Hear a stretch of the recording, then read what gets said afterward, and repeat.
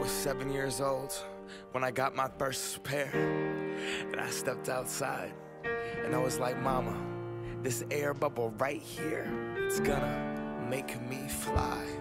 I hit that court, and when I jumped, I jumped. I swear I got so high. I touched the net. Mom, I touched the net.